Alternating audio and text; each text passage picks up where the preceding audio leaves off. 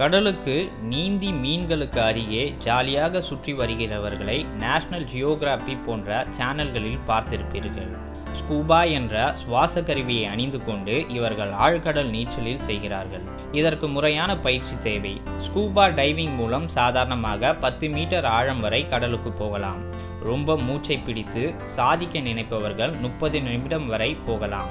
கடலுக்கடியில் ஆராய்ச்சி செய்பவர்கள் சுவாச கருவி துணையுடன் ஆயிரம் அடி வரை செல்கிறார்கள்.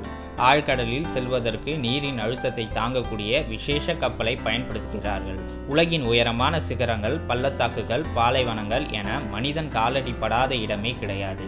ஆனால் கடலின் ஆழத்தை அடைவதில் இன்னும் முழுமையான வெற்றியை மனிதன் அடையவில்லை. ஏன் கடலின் ஆழத்திற்கு செல்ல முடியவில்லை? கடலின் சராசரி ஆழம் நாலு கிலோமீட்டர் கடலின் அடியில் மலைத்தொடர்களும் பள்ளத்தாக்குகளும் மற்றும் குகைகள் எரிமலைகள் குன்றுகள் எல்லாம் உள்ளனர்.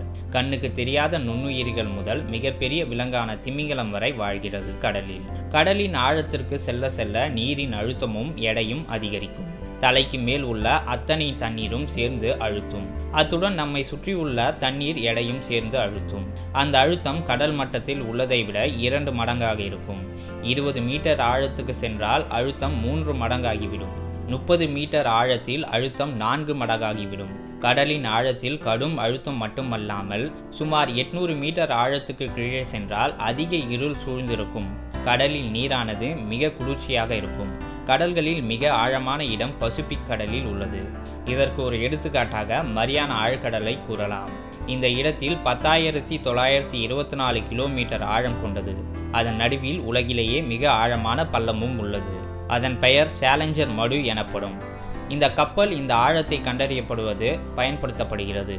மரியானா ஆழ்பகுதிக்கு டான் வால்ஷிஸ் சாக்கஸ் ப்ராக்கட் ஆகிய இருவரும் டிஆர்எஸ் என்ற நீர்மூழ்கி கப்பலில் அந்த காலத்தில் அதாவது ஆயிரத்தி தொள்ளாயிரத்தி அறுபதில் சென்று வந்தனர்.